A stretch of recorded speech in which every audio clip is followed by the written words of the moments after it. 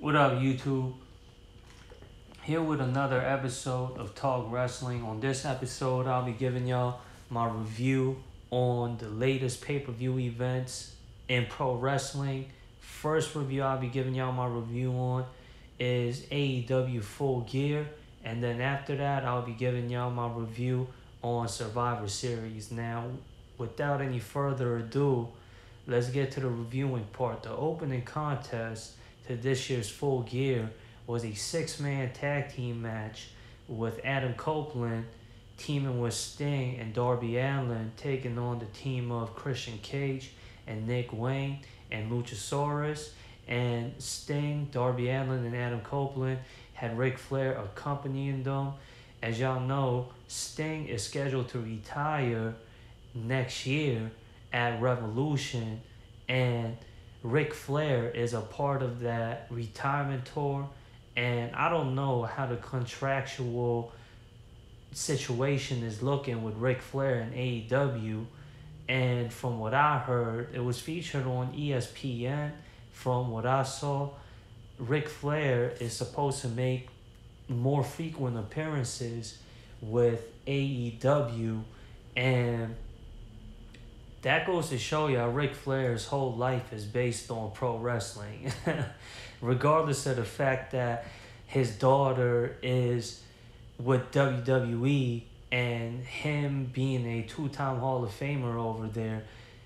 Y'all remember when Ric Flair had his uh, retirement match versus Shawn Michaels at WrestleMania 24 when he lost to Shawn Michaels? He was supposed to retire, and then, like a year or two later, he goes on to TNA. And then now, since WWE doesn't have anything for Ric Flair, Ric Flair goes off to AEW. However, it does make sense that Ric Flair is there because he helped mold Sting's pro wrestling career together from when Sting started his pro wrestling career at WCW. So I think it's only right that Ric Flair is a part of this last run that Sting is going on before he retires at the spring of next year. And the opening contest it, it was a good one and i like how they had adam copeland and christian cage not engaged in any physical altercation because from what i saw it looks like they're building adam copeland to challenge for the tnt title which is held by christian cage and as y'all know they are childhood friends.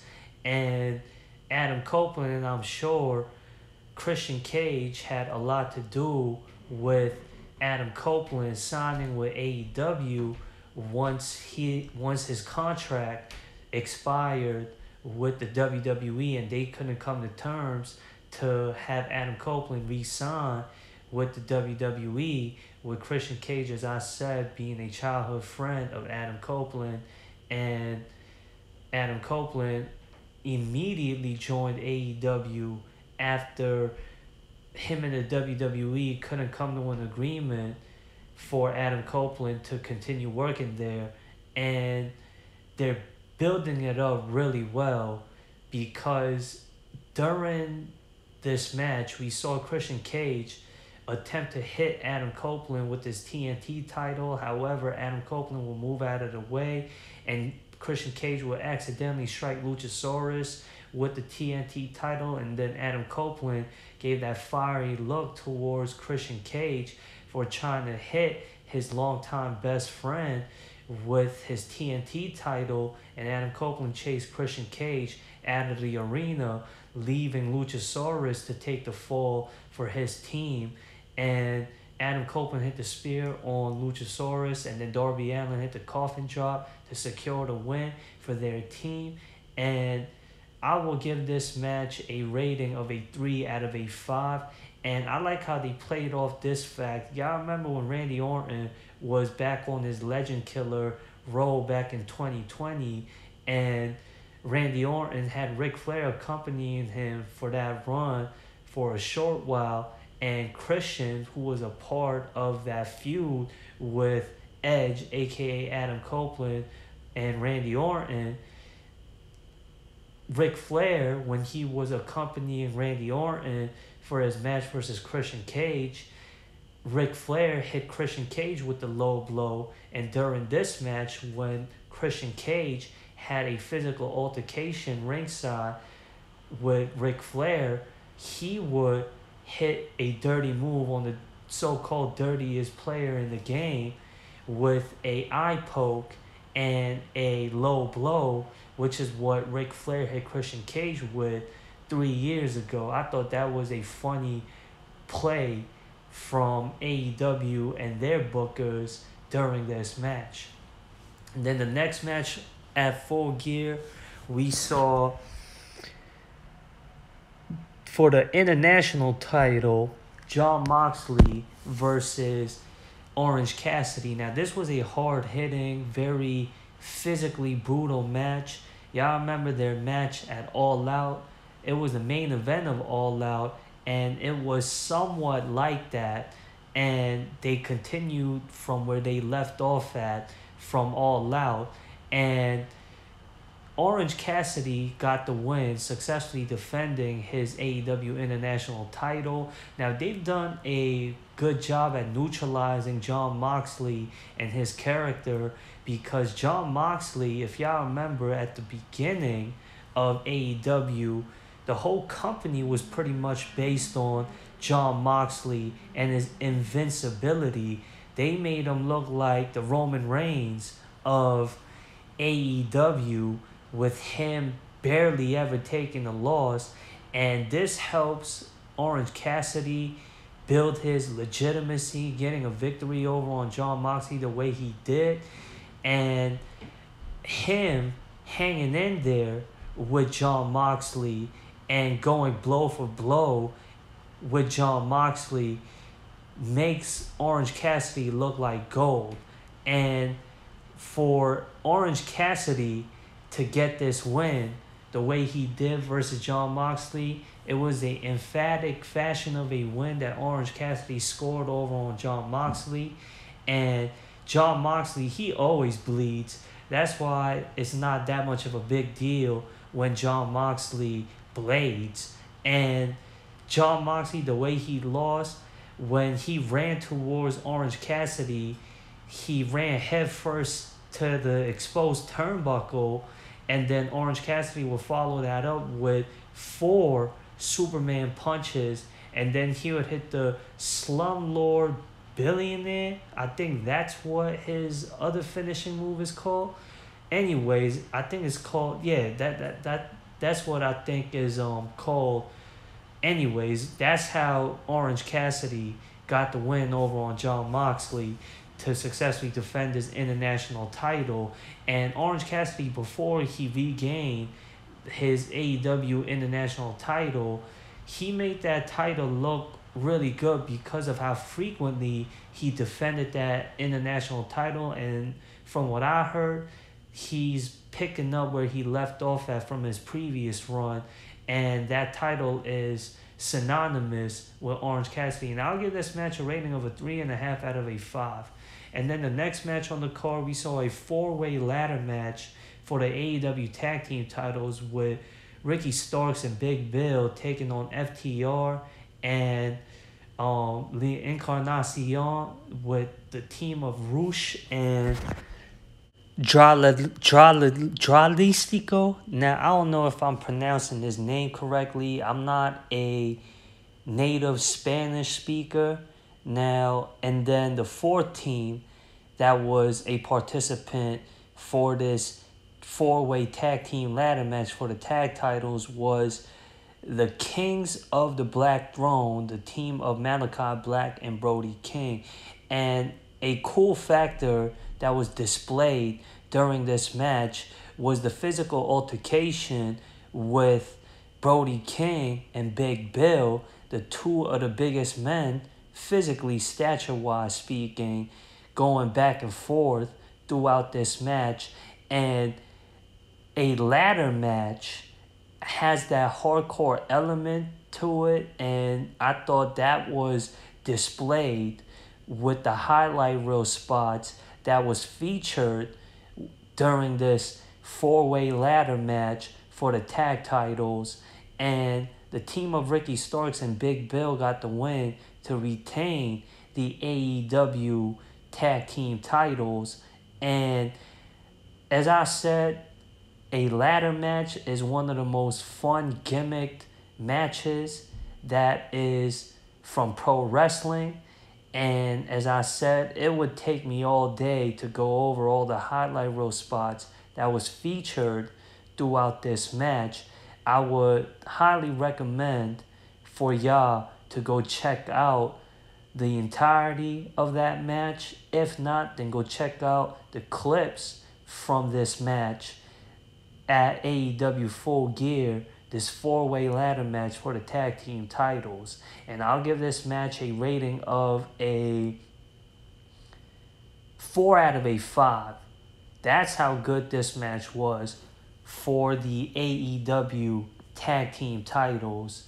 And I've been a critic of AEW when it comes to them and how they produce multi wrestler being featured in one match and how it's discombobulated and it's disorganized and how they don't do a good job at spreading the time slots for each wrestlers to have their shining moments at matches like this. However, this match was very well put together and that's why I give this match a rating of a 4 out of a 5. Now, if AEW continues to put on matches like this whenever they have a multi wrestler feature matches. Now that would be a good look for AEW, and we'll see as AEW continues to grow as a wrestling franchise. And then the next match on the card was for the AEW Women's title. Toni Storm taking on Hikaru Shida. Now, I haven't been keeping up with the weekly episodes with AEW and none of their shows. I didn't know Saraya lost the AEW Women's title to Hikaru Shida. And I was surprised that Saraya dropped the title to Hikaru Shida on a random episode of AEW, whether it had been Dynamite, Rampage, or Collision. And Toni Storm was in the midst of a feud with her former team members, Saraya and Ruby Soho. That's why I thought it would have been appropriate storyline wise for Toni Storm to take the title from Saraya. And I don't know what is going on with AEW and all their storylines. I know what's going on as far as the main storylines that AEW's got going on right now. And come to find out, that ain't really matter because Toni Storm got the win and became the new AEW Women's Champion after defeating Hikaru Shida. And this is a refreshing look for Toni Storm because she got this new psychotic character that she's playing and that was a revamp or that is a revamp to speak more correctly to make more sense wise because I don't want to stumble across my words. And with that being said Toni Storm I'm looking forward to her being the new AEW Women's Champion with this new character that she got right now. And Hikaru Shida, I thought she was a transitional champion for Toni Storm to pick up this win and become yet again the new AEW Women's Champion. And then I will give this match a rating of a 2 out of a 5. It was a mediocre match. I thought this match, as far as match quality wise, could have been on a dynamite or a collision. And the next match on the card we saw was a Texas death match with Hangman Adam Page taking on Swerve Strickland. Now, this match is a match where Hangman Adam Page specializes in, and this match was as brutal as it came, and I like how they built the animosity amongst these two wrestlers, and I thought it was very appropriate that this match and this rivalry came to an end the way it did in a Texas death match because of how much zealousness that both Adam Page and Swerve Strickland had for one another, starting from Wrestle Dream, because y'all remember Swerve Strickland picked up the win in a very controversial matter, and because of the way Swerve Strickland won that match at Wrestle Dream, it was only right that a Texas death match came from this rivalry between these two wrestlers at full gear. And this match, as I said, was brutal. It fit the gimmick of the Texas death match. And I would recommend, if y'all haven't seen the full match, then I would suggest that y'all go check it out. Because it would take me a long time to go over all the hardcore highlight reel spots that was featured throughout this match and there was a whole bunch of them and that's why i'm just gonna tell y'all the ending to this match we saw swerve strickland's fellow embassy member brian cage step in on the behalf of Swerve Strickland, as well as Prince Nana, the manager of the embassy, also making an interference on the behalf of Swerve Strickland when Swerve Strickland was in trouble. And Hangman Adam Page would take out both Nana and Brian Cage. And then that would leave room for Swerve Strickland to sneak in there and to have Hangman Adam Page hung from the post with a steel chain. Y'all remember the Texas death match that we saw last year with Hangman Adam Page and Jon Moxley? How Hangman Adam Page had Jon Moxley hung with that steel chain from the top rope to the apron of the ring. That's how Swerve Strickland got the win over on Hangman Adam Page at full gear Unlike how Jon Moxley was hanging from the apron of the ring from the top rope, it was on the outside, and Swerve Strickland was hanging Hangman Adam Page from the steel post. And Swerve Strickland, if that win over on Hangman Adam Page at Wrestle Dream wasn't enough, him getting a win over on Hangman Adam Page in a match where Hangman Adam Page specializes in, furthermore cements and legitimizes Swerve Strickland's push as a legitimate singles competitor in AEW. This could definitely have Swerve Strickland stamped as a future potential world champion. And I'll give this match a rating of a 4 out of a 5. Then the next match on the card, we saw the Golden Jets, the team of Chris Jericho and Kenny Omega, take on the Young Bucks. Now, from what I saw, it looks like the Young Bucks are heel again. And this match makes sense because the Young Bucks and Kenny Omega are longtime buddies they were a part of the same group called the Elite, and they're both executive presidents to AEW. They help find this company, AEW, from the start of it. And I didn't know that Kenny Omega and Chris Jericho was going to formulate a team together after they teamed up with one another to take on the Don Callis family, who is a common enemy to both Chris Jericho and Kenny Omega, and to feud with the Young Bucks, who are friends with Kenny Omega. I like how that intertwines with each other.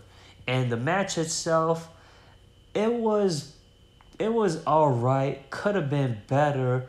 It felt more like a time filler match than it was more of a legitimate match. And I know that these four wrestlers could have produced a better match with the ability that all these wrestlers possess. However, I don't have any complaints that came out of this match.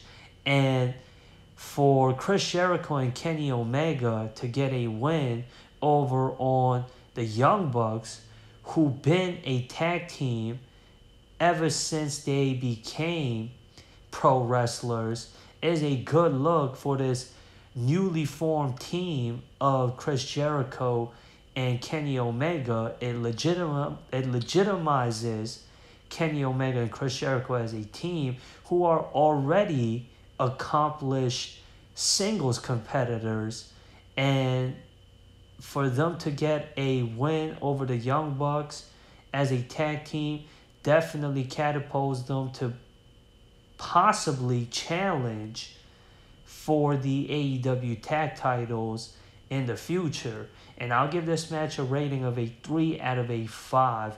Now, I don't know if they're going to continue this feud with the Golden Jets and the Young Bucks. They definitely can.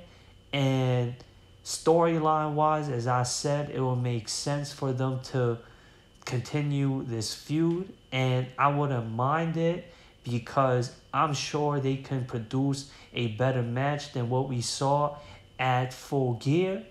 And I don't know how long this team of Chris Jericho and Kenny Omega is going to continue before they go their own ways as singles competitors.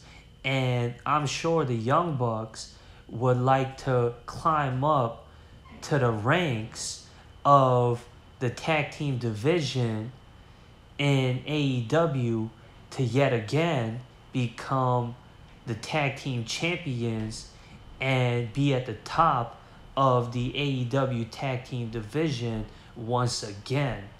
Then the next match on the card we saw was a three way match for the TBS title. Kris Statlander taking on Blue Sky and Julia Hart. And this match was a decent match. I'll give this match a rating of a 3 out of a 5. I like how these three young women who are on the come up as well, they are already legitimate female wrestlers. However, them getting a pay per view match makes them more of a legit wrestler than they already are. And them getting this kind of spotlight definitely helps them get noticed by the wrestling fans. And Julia Hart got the win, becoming the new AEW TBS champion. And Julia Hart, who's been the manager for the House of Black, and before that, she was the manager for um, Brian Pillman Jr. And I forgot who he was teaming with. Was it Brian Pillman Jr. and Brock Anderson? I don't know. It was it was a jobber team that she was managing for before she became the manager for the House of Black. And she's been getting a real fast, steady push as a singles competitor. And her getting this win at full gear and becoming the new TBS champion has definitely stamped her as a legit female wrestler and putting a title on her legitimizes and further pushes her current push that she got going on right now. And the way how Julia Hart won this match was I would say, very smart and intelligent way how she had won this match because Kris Statlander had Blue Sky rolled up to what it looked like was going to be yet another successful defense of her TBS title. Then Julia Hart came out of nowhere and knocked Kris Statlander out of the way to pick up the scraps of Kris Statlander to get the win over on Blue Sky by pinning her to become the new TBS champion. And this is a good look for Julia Hart with this current push that she got going on right now and putting the TBS title on her further pushes her current push. And the next match on the card we saw was the main event. And I didn't know that MJF was gimmickly injured because Adam Cole came out, who's already injured and came out on crutches to replace MJF to defend the AEW World title in the honor of his friend versus Jay White. And MJF came out of nowhere from the ambulance, and that is a dramatic entrance for MJF. I don't know if it was MJF that got attacked backstage prior to this match by the Bullet Club, and that's why MJF was rushed to the emergency and he couldn't come out to defend his AEW World title versus Jay White. And that's why Adam Cole had to make the entrance prior to this match becoming official to take the spot for MJF for the AEW World title. But MJF came out to derail the plan that Jay White and Bullet Club had to get the win over on either MJF or Adam Cole for Jay White to get the AEW World title at full gear. And regardless of the fact that MJF had a leg injury, he still got the win over on Jay White in a classic MJF fashion. When he would hit Jay White with a low blow, and then Adam Cole, who passed the ring of MJF off to MJF for MJF to retrieve it and hit Jay White after hitting Jay White with the low blow with that punch of his with the ring wrapped around his pinky to get the win to successfully defend and retain his AEW World title. And the match itself, it was decent. And the way how this match ended was appropriate to close out the show. However, the match quality itself could have been better. It was more of a storytelling match based on the rivalry of MJF and Jay White. And I will give this match a rating of a 3 out of a 5. And I'm sure that this match could have been better if MJF didn't have a gimmick injury for this match versus Jay White. Now, because of the way MJF won, I'm quite sure that they're going to continue this feud with MJF and Jay White. And I will give this full gear show a rating of a 7 out of a 10. Now, moving on. I will be giving y'all my review on the WWE's latest pay per view event, that being Survivor Series, that happened this past Saturday. And the opening contest of this year's Survivor Series was the War Games match featuring the woman. And I thought that was the appropriate move that the WWE made on a booking part of things And that's because Survivor Series now their event is based on war games and to have war games being the opening contest to kick off Survivor Series sets not only the tone for the rest of the show, however, it shines a spotlight on the gimmick match that the event is based on. And this match was a good one. And I'll give this match a rating of a 4 out of a 5. That goes to tell y'all how good this match was. If y'all haven't seen this match, I would definitely highly suggest for y'all to go check it out. And this women's War Games match featured Damage Control taking on the team of Bianca Belair, Shotzi, Charlotte Flair, and Becky Lynch. And Team Bianca Belair got the win after Becky Lynch hit the rock bottom through the table on Bayley to get the win for the team of Bianca Belair, Shotzi, Charlotte Flair, and Becky Lynch. And Charlotte Flair and Becky Lynch got a history of not liking each other.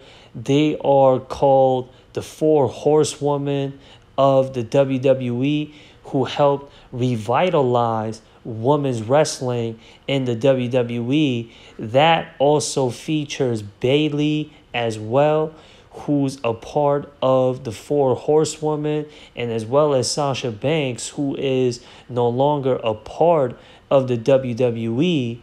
And three out of those four horsewomen were featured in this match. And I like how they played off that factor in this match with Charlotte Flair and Becky Lynch displaying the animosity that they had for one another prior to this match and as well as displaying it throughout this match. However, they got along and went on a hot streak together, coexisting for the sake of their team throughout this match, working together, teaming together to let go of the fiery passion that they have for one another and taking that out on their opponents throughout this match. I thought that was a really cool moment that was featured throughout this match. And the highlight reel spots that was the most highlight reel moment in this match was when it was two of them actually. First, when Iyo Sky dived off the top of the cage with the garbage can covering over her, and for her to do that without seeing because there's no holes on that garbage can for Iyo Sky to see was a amazing, impressive look when she dived off the top of the cage onto the rest of the participants in this match. And as well as Charlotte Flair later on following that up with her doing a moonsault onto the rest of the participants in this match from the top of the cage. And a clever spot that was featured in this match was when Bianca Belair hit the fire extinguisher over on Asuka when she failed to hit, I think it was Shotzi with the mist that she likes to spit out on all her opponents. And I know that had to feel good for Bianca Belair because Asuka, when she was trying to get the woman's title, matter of fact, she did get the woman's title by defeating Bianca Belair with the help of the Mist. And Bianca Belair has been a victim of getting that fiery mist spat on her by Asuka and her hitting Asuka after she failed to hit Shotzi with that fiery mist and Shotzi could thank her speedy fast reflexes to get out of the way of getting hit with Asuka's fiery mist that she likes to spit out on her opponents. Then Bianca Belair following that up by hitting Asuka with the fire extinguisher to have Asuka get a taste of her own medicine. I thought that was a clever, funny booking on the part of the WWE creative and the producers that helped put this match together and orchestrated.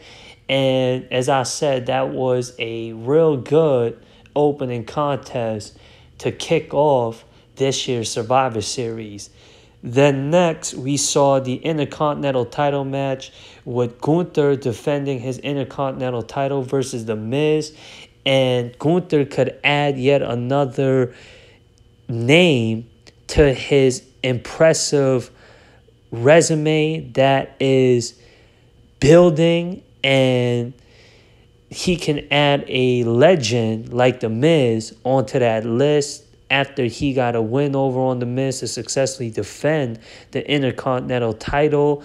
And this goes to show y'all The Miz's versatility of being able to fluctuate from playing a heel character and playing a babyface character. And he does do a good job at playing either or. And this happened on an episode of Monday Night Raw when The Miz had Gunther featured on Miz TV and Gunther trash talked and downplayed The Miz's ability and his legacy and his legitimacy. That's what kicked off this rivalry. Miz being a two time Grand Slam champion and a decorated Intercontinental champion, and him being featured in an Intercontinental title match to hopefully become Intercontinental Champion and to fight for the Intercontinental title, being on the scene for the Intercontinental title is a good look for the Intercontinental title and its prestigious. And Gunther got the win in a fashion where Gunther doesn't often get a win in this matter. And he got the win after hitting the walls of Jericho on The Miz to get a tap out win. And Gunther is not a submission specialist, and that's why it was a refreshing look for Gunther and to show off his ability of being versatile as a wrestler was, I would say, a good look, and that is a credit that should go out to the creative and the producers that helped put this match together. And Gunther, I would say, has improved a lot lately when it comes to his character work, and that goes with his talking ability on the mic and his charisma because his wrestling ability has been top notch and that's what his reputation is built on. And i'll give this match a rating of a three and a half out of a five. And the miz came close at getting the getting the win over on gunther after having Gunther run into the exposed turnbuckle and then The Miz hitting Gunther with a low blow and then following that up with a skull crushing finale and Gunther kicked out of that. And that goes to add on to Gunther's resilience and his fortitude and his and his will and his strength to keep his Intercontinental title.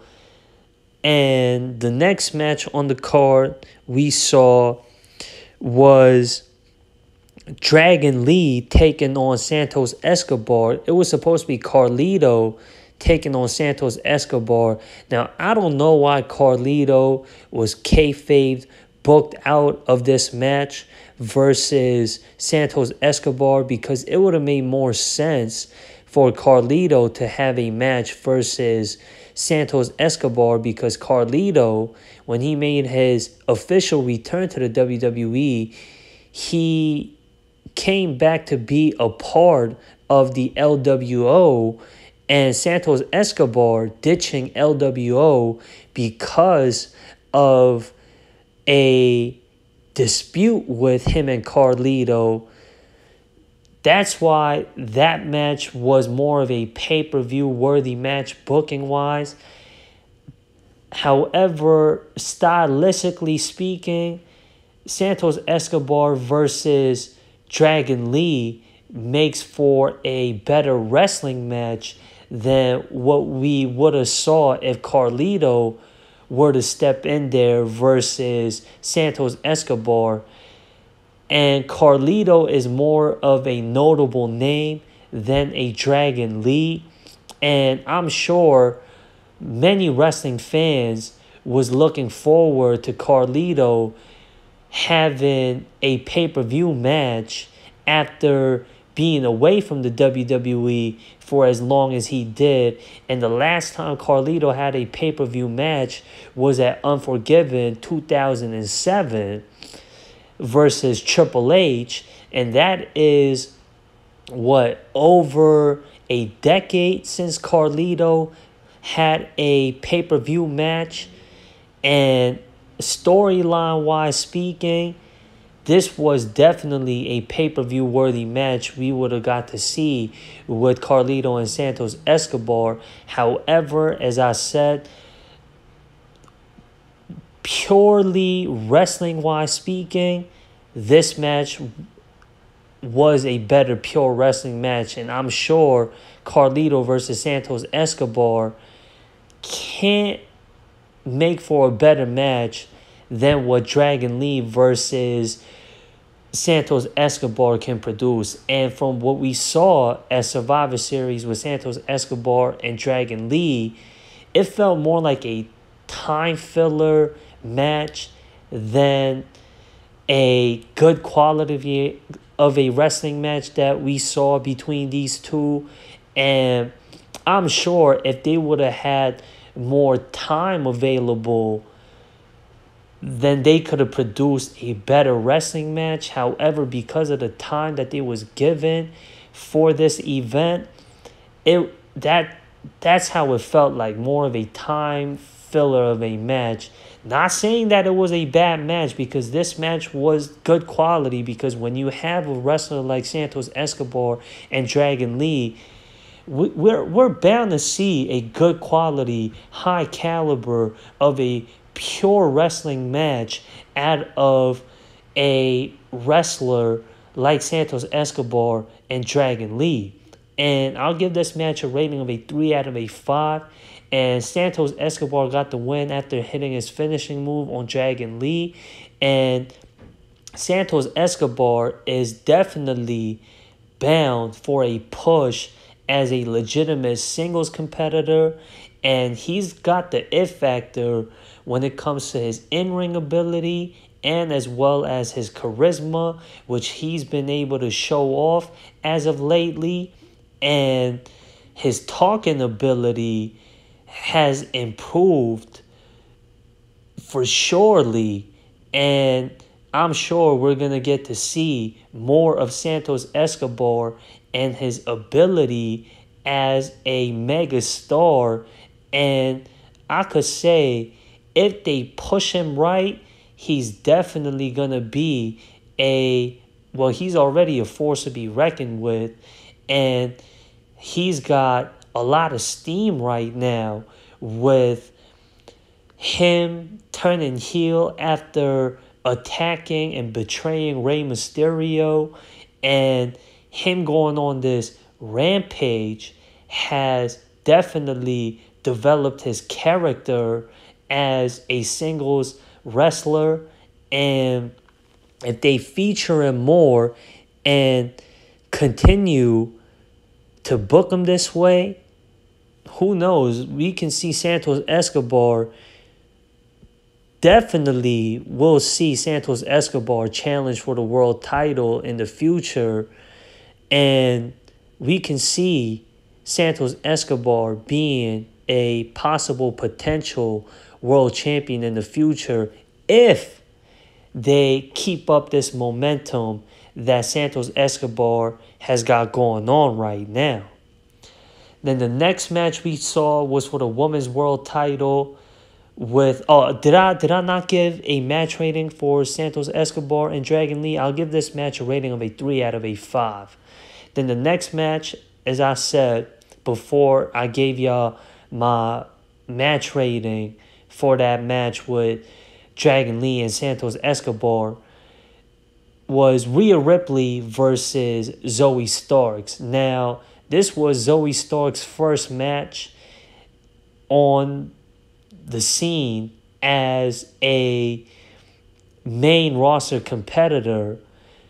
And I'm talking about a one on one match because at Crown Jewel, she was a part of the five way match for the Women's World title. And she earned herself the number one contender spot on the episode of Monday Night Raw to challenge Rhea Ripley for the Women's World title at Survivor Series. And this match was decent. I'll give this match a rating of a 3 out of a 5. Rhea Ripley, as expected, got the win, successfully defend, defending her Women's World title. I'll give this match a rating of a two and a half out of a five. It could have been better, and I'm sure if they had more time, they could have produced a better match. But it is what it is. Zoey Starks put up a good fight for what it was, and it had decent back and forthness and decent pace throughout the match, and both wrestlers can go that's why I said they could have put on a better match if they had more time. And as I said, this was a decent match and it was more of a time filler match. And that's how decent matches usually tend to feel. And that's what this match was. And the next match was the main event that being the Mayo War Games match featuring the Judgment Day and the team of Cody Rhodes, Jey Uso, and Sami Zayn, and Seth Rollins, and Randy Orton. And prior to this match, Team Cody Rhodes was questioning Cody Rhodes and his mentor, you can sort of say, Randy Orton, who was a no show prior to this match, who was announced on the episode of Raw to be the fifth member to help out Team Cody Rhodes versus Judgment Day as Survivor Series' main event. They were saying, Where's Randy Orton? And Randy Orton came out when the Judgment Day had the rest of Team Cody Rhodes beat down and out, and Rhea Ripley came out when Randy Orton no showed when the fifth member, who was Randy Orton, was supposed to come out. And he didn't make the entrance with the rest of Team Cody Rhodes at the beginning of this match. And when the fifth member was supposed to show, for Team Cody Rhodes. He didn't come out. Hence why Rhea Ripley's music hit and she ran out with Damian Priest's Money in the Bank contract for Damian Priest to cash in his Money in the Bank contract for Damian Priest to become the new World Heavyweight Champion. And then as Rhea Ripley was telling the ring announcer to announce Damian Priest's cash in, then that's when Randy Orton's music hit and Randy Orton came out and the War Games match officially began. And the match itself was good quality. I would say y'all go check it out whenever y'all have the chance to. And Randy Orton had a moment with Jey Uso.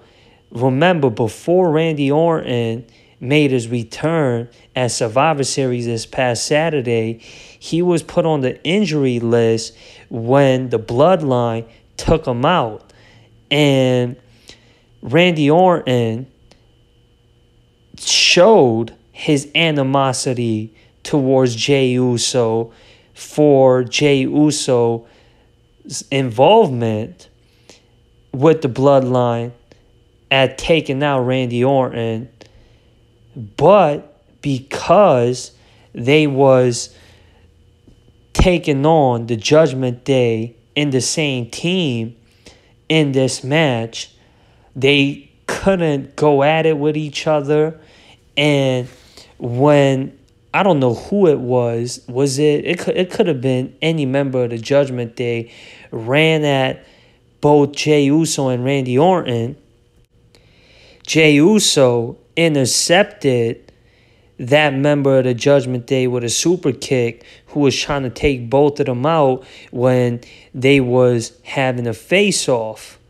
And a cool spot that was featured in this match was when all five members of Team Cody Rhodes hit that Randy Orton signature DDT on each member of the Judgment Day, and how Team Cody Rhodes got the win was when Cody Rhodes hit the Cross Rhodes on Damian Priest to get the win for his team and I'll give this match a rating of a three and a half out of a five. And there were enough highlight reel spots that was featured throughout this match. I'm not going to list all the highlight reel spots that was featured in this match. There wasn't a lot of them. And I know that can be a surprise to many people because War Games is gimmicked to be a hardcore match. And as I said, there wasn't a lot of them. And the only hardcore highlight reel spot that I can remember was when JD McDonagh got caught trying to make an escape when the rest of the Judgment Day members was down and out. And he got intercepted when he was at the top of the cage by Sami Zayn and Seth Rollins, and both of them threw JD McDonagh from the top of the cage. And Randy Orton caught JD McDonagh in midair and hit him with the RKO. And that was the only hardcore highlight reel spot that was featured in this match that was worthy of mentioning. Uh, and and Randy Orton wasn't the only wrestler to make a return on the scene for the WWE as Survivor Series because as the winners was celebrating their victory, CM Punk's music hit, who was rumored to make his return to the WWE in his hometown of Chicago, where Survivor Series was being hosted this past Saturday. Now, I didn't hear any wrestling sites and talks from wrestling fans of spotting CM Punk at Survivor Series before he made his entrance to officially stamp his return to the WWE. I didn't hear any contractual talks of CM Punk and the WWE.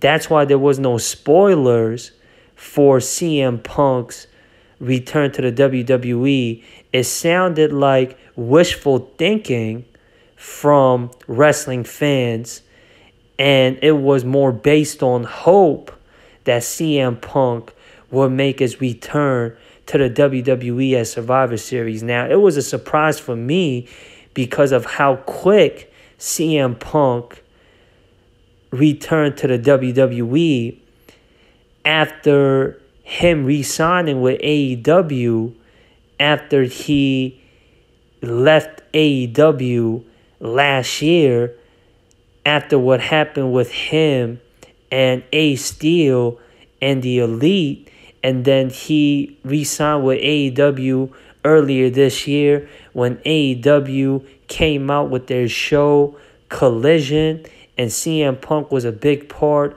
of AEW Collision when that show debuted, and then CM Punk and his contract with AEW terminated after what happened at All In. And that was the final straw with CM Punk and AEW's venture of working together. And that's only what, three months that CM Punk and AEW parted ways? And CM Punk, it's been almost a decade since we saw CM Punk with the WWE. And the way CM Punk parted ways with the WWE was definitely not professional. And his reputation of him not being able to coexist with those that work around him that's what ultimately led to his demise with AEW and their partnership. And for the WWE to know that fact and have an experience of CM Punk and his reputation and his lack of ability. Well, I'm not going to say lack of ability because he doesn't take any BS from those that work around him. And he is a stand up guy when it comes to him not taking any BS and him not being taken advantage of and him not letting those that work around him get any leverage when it comes to making him do stuff that he doesn't want to do. And I think that is a good aspect and a good character. However, it can be frustrating for those that depend on him to perform out there. And that's why this move was a surprise for me because of how quick the WWE was willing to work with CM Punk after what had took place with him in AEW and that can be considered by many people as unprofessional and inconsiderable.